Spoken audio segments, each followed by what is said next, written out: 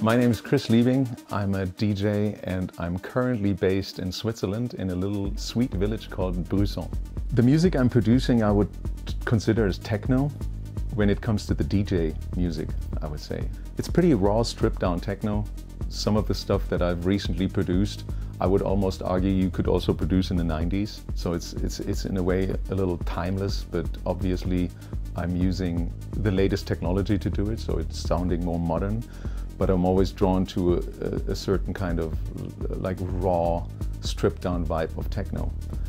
You kind of had these images in your head of the club and you were, while you were playing and I could envision myself standing in that club and trying to play something and getting this out of my head into onto the mixing desk into uh, turning it into a production was probably the biggest source of inspiration.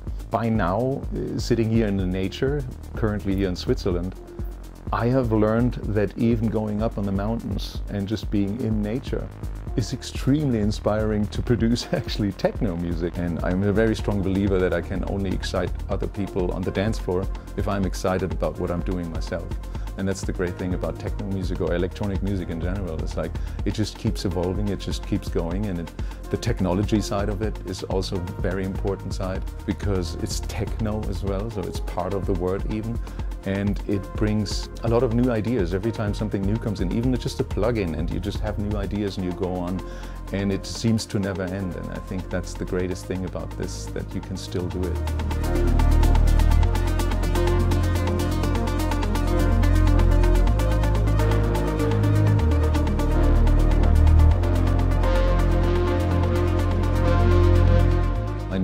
Which is called Another Day and is going to come out in November on Mute Records. I've been working on this for the past two years, uh, also with my co-producer Ralf Hildenbeutel. But this album, uh, I mean, I've already got a lot of help of Mute Records and especially Daniel Miller on my first album, uh, which was Burn Slow. Um, but with this album, Daniel actually took over the role as an executive producer. And he was also helping a lot in, in the mixing process, which I've learned so much there's a lot of uh, examples where technology really, really helps the creative process these days.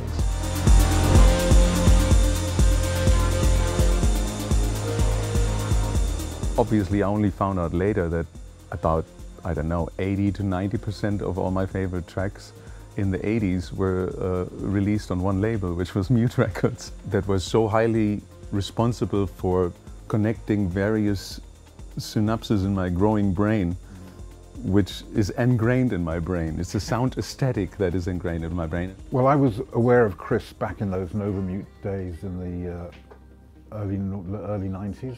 Really liked his work. But around that, a little bit after that, I started DJing again, basically techno. So I was searching around for a lot of music, as, as, as one does. And I found, in a similar way to how Chris regarded realised about a lot of his track, favourite tracks were on mute, I realised a lot of the tracks that I really loved were on CLR. Oh. And Chris's work as well, uh, obviously. And so when I, um, I decided to start up Novamute again, my first port of call for advice or guidance, whatever you want to call it, was, was Chris.